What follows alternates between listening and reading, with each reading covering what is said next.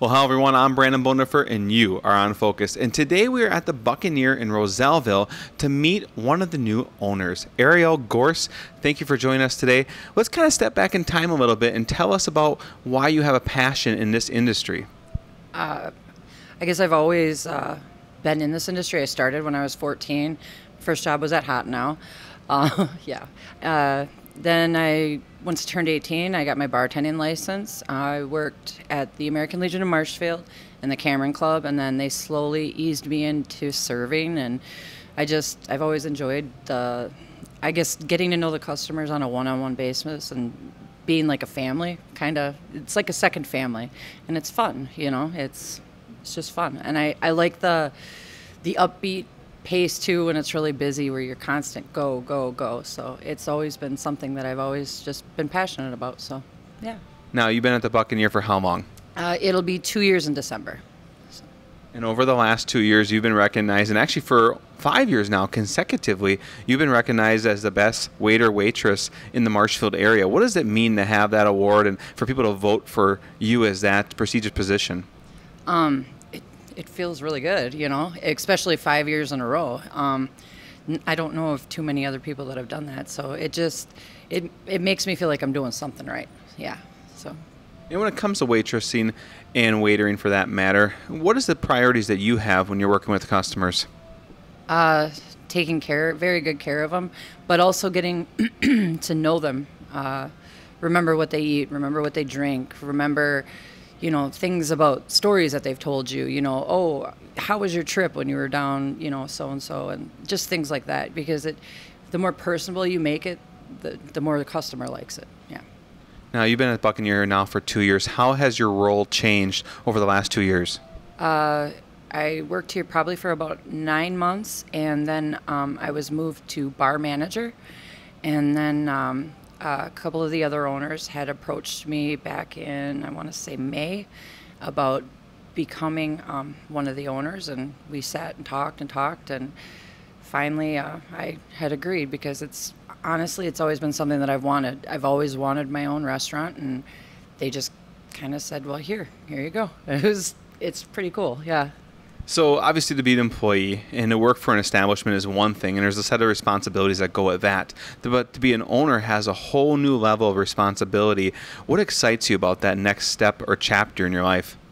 Getting, getting to change, you know. Um, uh, Scott Kleinschmidt is one of the other owners, and he, he's pretty much like the general manager, but he's always here like I am, and I I see a lot of good things coming down the road because we are talking about changing some things here, and it's it's cool because now it's some of it's my idea too. You know, it's not just like okay, Ariel, this is what we're doing, and you have to follow this, but my insight gets to come into it too. So it's great talking about change, Buccaneer has went through a lot of change in the last couple of years. Yes. Uh, change in ownership, change in menu, change in decor, and you talk about some of the excitement that's down the road.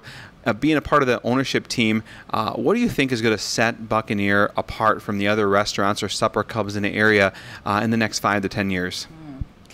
Um, well, ob- obviously our food. Um, we have tremendous food, and everything is fresh. It's all homemade here. We make everything here. There's nothing that I mean, we order in fresh stuff, and it's just the variety that you know we have. But I also think the atmosphere. Um, I was talking with a customer last night, and she said that that is the reason why she drives from Man Road all the way out here. She's like, it's just the atmosphere. She's like, it's better than any of the places in Marshfield. I just feel so comfortable here, you know. So I think a lot of it is the people, you know, the servers, the bartenders, you know, even me, but the atmosphere this place has. So. So, kind of sounding off on that atmosphere thing, we kind of have a pretty awesome event coming up that kind of really ignites your ownership here at the Buccaneer. Tell me a little bit about that and how did the rest of the ownership really kind of get you to buy into that? Um, honestly, they were the ones that really wanted to push for um, a special event to kind of introduce me into becoming into the ownership, which I, I know that you guys already had done an article, and I, I, I don't know, I, I guess I felt I, I, I didn't really ask for it, but it's what they wanted to do because it's they're great owners. All all the rest of the owners are just absolutely wonderful. They're like a gigantic family, and I think it's they know how much it means to me, so they want to make sure you know it's official. It's here it is, and but we will be having. Um, uh, one new drink coming out. You know, I know that they're going to be running some specials. I don't know on what exactly, but once we make it official, you know, I'm hoping everybody's going to come out here and help celebrate. So now this event you're saying is open to the public and open to all present and past and future customers of the Buccaneer. When is it? When does it start? And kind of what should people expect? Uh, September 5th, and the doors open at 4 p.m. And I guess I'm just hoping everybody's going to have fun, socialize, and bring an appetite. You know, that's that's about it. Well, that's what it is. It is a celebration. It is the next chapter in your life, and it's also another chapter in the history here at Buccaneer. We're sitting next to uh, what used to be at one point a fireplace that fired a blacksmith shop here in Rozellville. And you look forward and look at this facility in space and look at all the history it has, and to leave your mark on that history. How does that feel knowing that you're the next chapter or part of the next chapter at the Buccaneer here in Rozellville? I, it makes me excited, absolutely excited. Honestly, um, when they gave me this opportunity, I, I cried. I just bawled right in front of all of the other owners, and it's just, I can't wait. I'm excited, very excited. Well, that isn't a celebration. That is going to be a fun time. So you better make your way out to the Buccaneer on that event date. Check out the link above for more information. It's open to the public. It's a great time. And we're going to try to pull in one more owner to hear a little bit about what his take is on the opportunity and the expansion and the ownership team here at the Buccaneer. So stay tuned.